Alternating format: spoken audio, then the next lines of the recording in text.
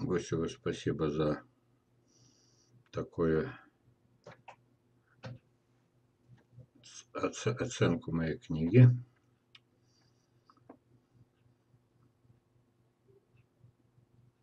Посадка деревьев, парамагнитный конденсатор. Елена Вайт. Способ посадки деревьев. Что можете сказать? Да я уже устарел. Я даже знаю, что такое парамагнитный конденсатор. Вот. Галина. Абрикоса круглоплодного сохнет ветка с плодами. Подскажите, как лечить? Привычный режим соблюдает, поливочный соблюдается. Саженец изначально посажен на. С уважением, Галина. Значит, ветку, которая сохнет вместе с плодами. Вот. Не трогайте пока. Просто подождите. От, э, от, отрезать всегда успеете. Время отрезки в начале сокодвижения, ранней весной. А пока просто ждите. Есть такие процессы, куда мы вмешиваться не можем, потому что мы можем делать только хуже. Так. Что собирается купить Ольга? А что она собирается? А что она Ольга писала? Не вижу я предыдущего письма. Так. В этом году я с абрикосами 8 штук. Абрикос Амур от Сергея. Жду, когда сами упадут на семена. О, наш человек. Правильно делаете, что ждете. Как поживает абрикос Ваньков ранний? Будут ли черенки для прививок и костики? Старик, 30 лет, половина веток уже отрезаны. Вот, я его перестал с него веточки брать, чтобы он еще пожил. Ну, это будет так выглядеть. Вы для меня, Александр, человек авторитетный. Я не могу сказать, надуться и сказать, не, Напомните мне день в ноябре-декабре отрежу для вас пару веточек. Так. Собираюсь приобрести новый участок, но там близкое залегание. Конечно, не покупать. Нет, почему? Есть несколько факторов, для чего люди покупают. Например, купили, да, там хороший дом, баня. Лужайки, может, уже есть какие-нибудь, так. Может быть, даже близко к залеганию грунтовых вод, проблемы с водой. Попробуйте, э, когда человек мне рассказывал 70 метров до воды, да еще скальный город, да еще скала сплошная. Вот. Ну, проблему с колодцем решили. Значит, э, вода есть хотя бы для бытовых нужд. Вот. Вопрос принципиальный.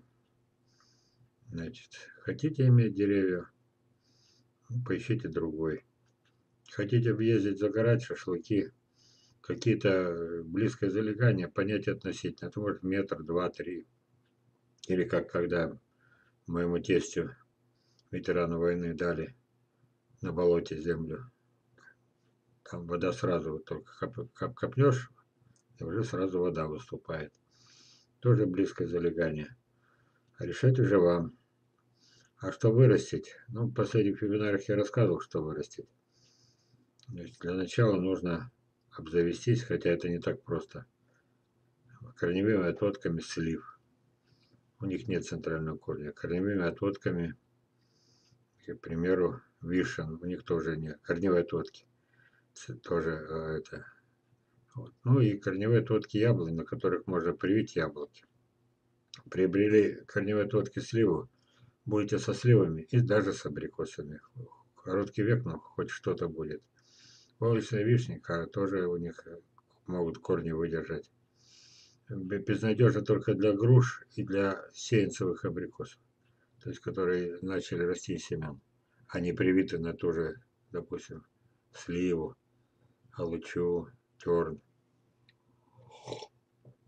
Вот такой короткий ответ. Так, сегодня получилось короткий разговор. Сейчас я посмотрю, кто тут есть. Юра, привет, брат, спасибо за подарок.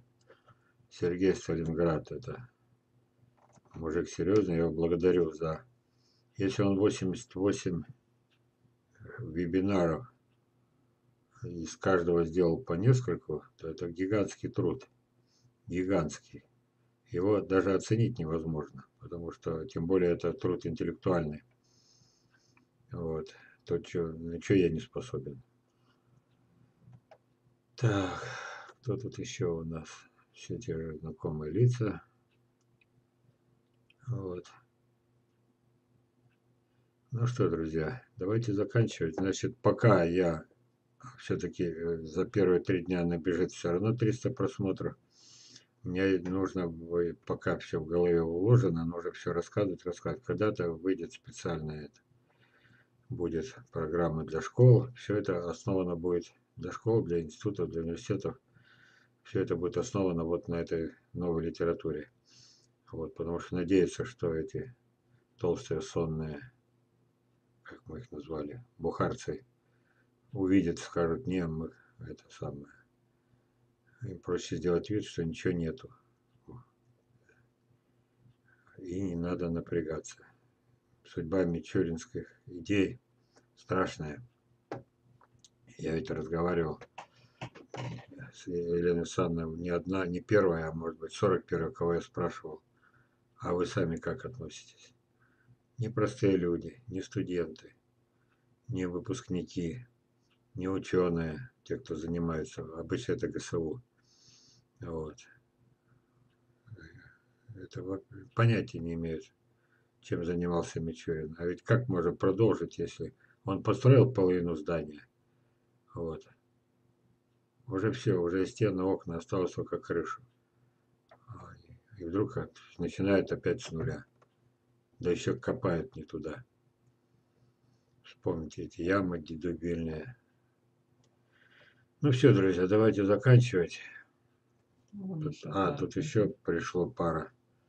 Ваши сеянцы, абрикосы обогнали мои местные. Спасибо, это вам спасибо за такую новость. Значит, не болтун. Так, Ольга, сталкиваюсь вы с шаркой, сливы, другими словами. Господи, нет. Вы знаете, до того обидно, стыдно бывает, когда я не могу дать советы по болезням деревьев. Ну, не виноват я, что они не болеют. Так, Ольга еще что-то пишет. На старый тер можно привить абрикос или молодой посадить и привить. На старый можно привить. Э, дело в том, что тут... Я не, о, не зря же Мичурина вспомнил. Одно дело прививаешь на сеянец, на молодой, да? Э, вот. И хотя они разные виды, э, есть шанс, что приживется, даже плодносить будет.